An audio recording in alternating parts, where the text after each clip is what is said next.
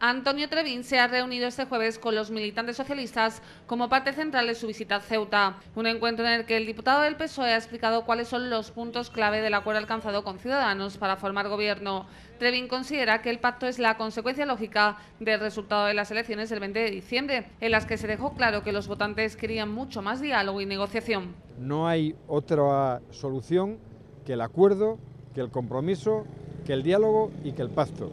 Trevin ha asegurado que el documento rubricado por los líderes de ambas formaciones es reformista y progresista, especialmente en lo concerniente al aspecto laboral, y ha insistido en que si Pedro Sánchez logra convertirse en presidente del Gobierno, la reforma laboral del Partido Popular quedará derogada. Es progresista derogar leyes como la de la reforma laboral, es progresista hacer un nuevo estatuto de los trabajadores que partirá de cero la legislación laboral de España, por tanto que derogará la ley de reforma laboral el del Partido Popular. Sobre la situación actual del Partido Popular, Trevin cree que es necesaria una regeneración de la formación para que así recupere su papel en la democracia española. Es un partido necesario en el programa político español, muy importante y que efectivamente hay que contar con él eh, para el futuro. El diputado no ha descartado tampoco que Podemos y el resto de fuerzas de izquierda puedan sumarse finalmente al acuerdo ya pactado con los de Albert Rivera. No se tiene, no se tiene por qué traicionar.